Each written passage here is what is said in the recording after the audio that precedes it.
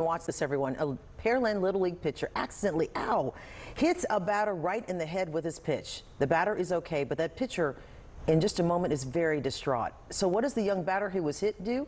He walks over and embraces and consoles the pitcher, Caden Shelton, and he could be overheard saying this quote, Hey, you're doing just great.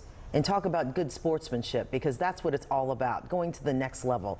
Love that and love seeing these kids talk. And actually, Pearland players right there, the Pearland Little Leagues Texas East are going, they beat Tulsa 9 to 4 and going on to Williamsport to play in the Little League World Series. So, quick comments before we go. What do you think about this? I mean, I'm still trying to hold back tears, guys. know. It's, It's- it's really sweet. I intentionally, Beautiful. I was not even looking at the monitor. Again. I've seen I this tried. video. I feel like I want to cry every time I see it. It's so sweet. Yeah. Uh, such a great human moment, and you know, everyone there, I'm sure, could not be more proud of this this kid. Of course, and it reminds you, I mean, just get home training. That's what that's all Yeah. about, and just sportsmanship. That's what it's mm-hmm. about, too. All right, so we've got a lot more coming up in just a moment. We're CW39 Houston, no wait weather and traffic.